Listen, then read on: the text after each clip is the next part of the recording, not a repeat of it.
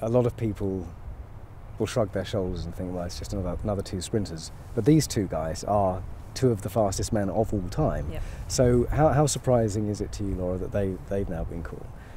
It's really surprising. I mean, me speaking personally, I, I wouldn't trust anyone to give me anything that I don't know is 100% safe, and that's just me, you know, former UK champion, Beijing Olympian. I'm, I'm not one of the big names up in the world, so for me to believe that these two names have, have let someone else give them things that they weren't 100% sure about, I, I'm not sure that rings true with me. I just think that's very, very naive for them to do that, and it's really irresponsible.